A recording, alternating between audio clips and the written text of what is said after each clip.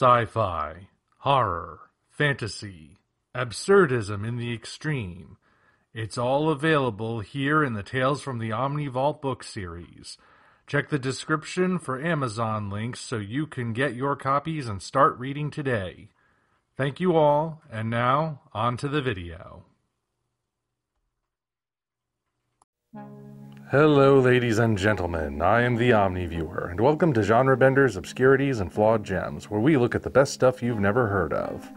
Today we go into the realm of the short story, a medium that's not always as appreciated as it should be. A short story is often likened to a tempest in a teacup, something brief but impactful.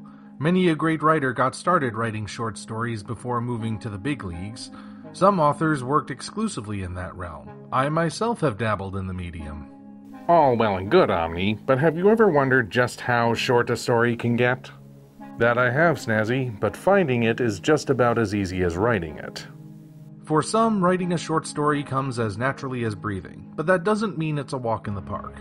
The whole point is to include everything you expect from a complete story within a confined space. All of the necessary information about the characters, the world they live in, and what's at stake must be conveyed within only a handful of pages. How many or how few can depend, and most of the time it's the sci fi and horror writers who experiment with how short they can get. I actually wrote a very short story for my collection Assorted Absurdities, an audio version of which is available right here on YouTube.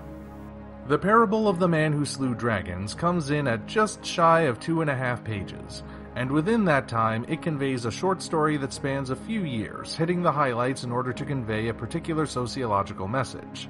The brevity of this tale is because the parable format allows for large swaths of time to be condensed. Big events are happening, and the minutiae can be inferred by the reader. It's definitely short, but I won't pretend that it's the shortest. Even shorter is The Swordsman of Varnis by Clive Jackson. Clocking in at just under two full pages, this tale is best described as a single scene from a much greater epic.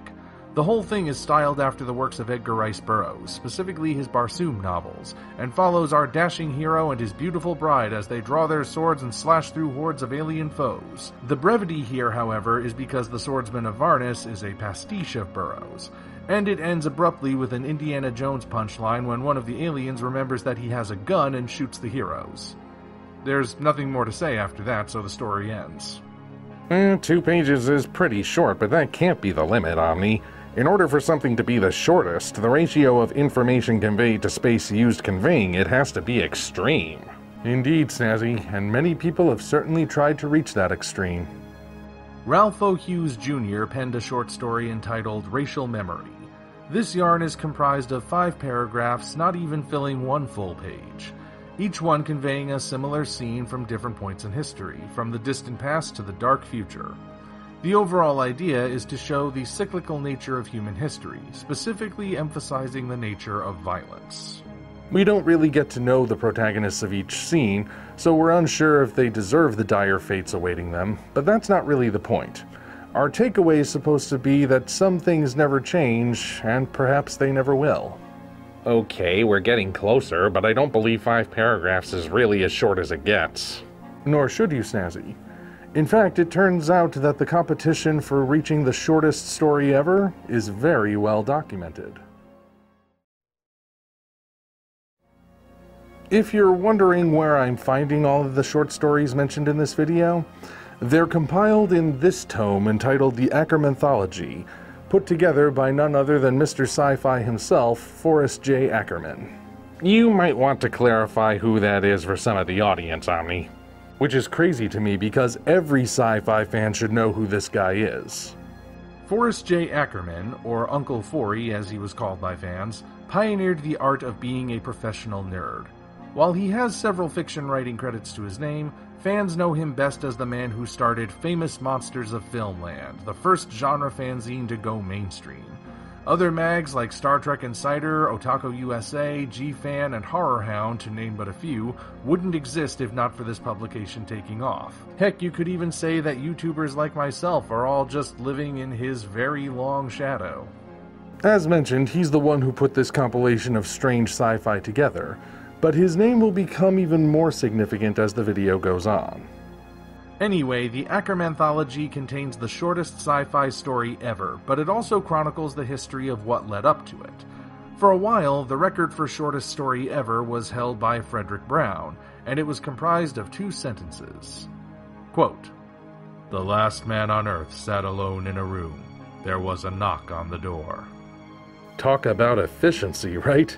That first sentence is very densely packed.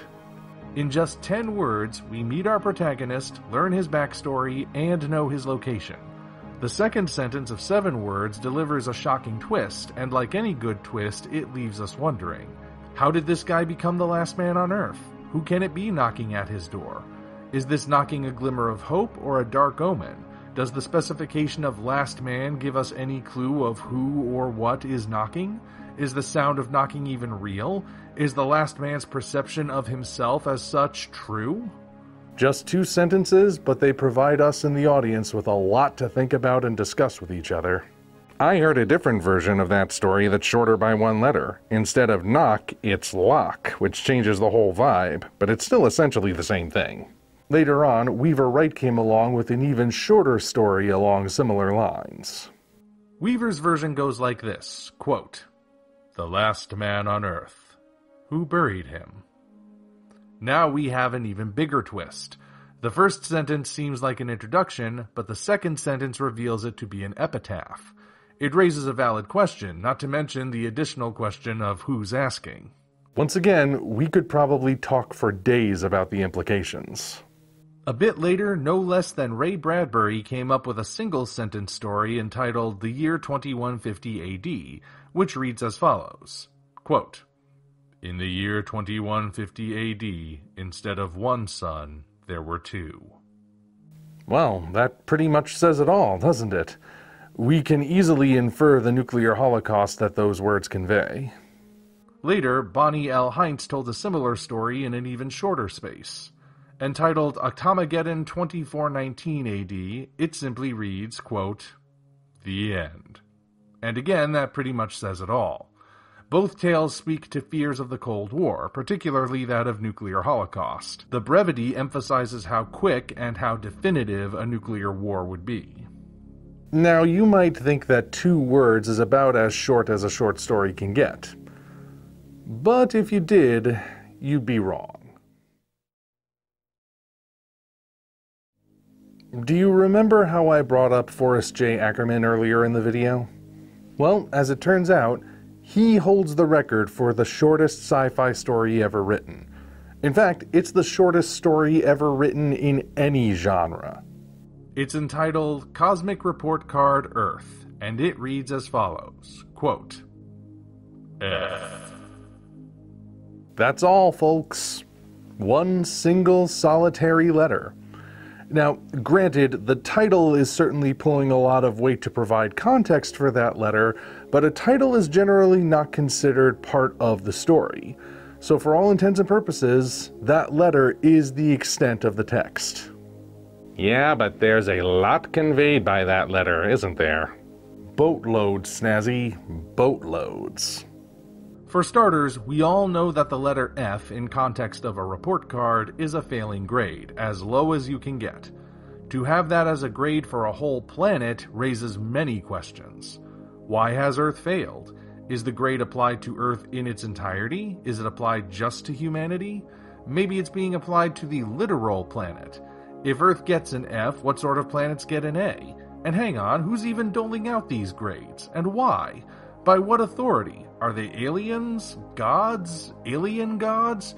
Is Earth allowed a second chance, or are all grades final?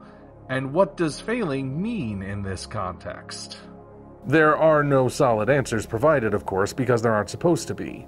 The point is to promote discussion, not to provide a safe answer for people to cling on to. One thing is for certain, though this is as short as a story can get. Is it, though? Well, yeah. How can you possibly get shorter than one letter? What about a blank page? If the title provides context without being part of the story, isn't it possible to come up with a title that could contextualize a blank page and have that count? Hmm. That is an interesting proposal. I suppose a title could provide context for that sort of thing, but it would have to be one heck of a title. But it does raise a significant question. Can someone really be said to have written the shortest story ever if the page doesn't contain any actual writing? Well, I don't know. I just wondered if it was possible, is all. I'm not so sure it is, but then again, maybe it's not my place to decide. All I can tell you for now is that Uncle Forry currently holds the record for the shortest story ever written. They say a picture is worth a thousand words, but sometimes even that can't compare to a single letter. Until such time as we meet again, this is the OmniViewer signing off.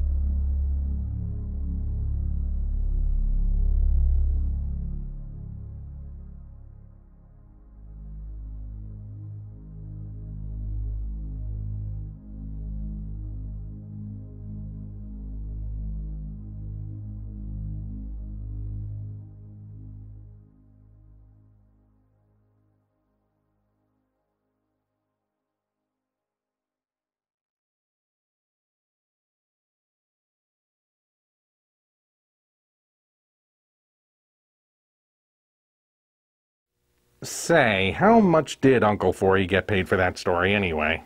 $100 even. A hundred bucks for one letter? Man, nice work if you can get it, right?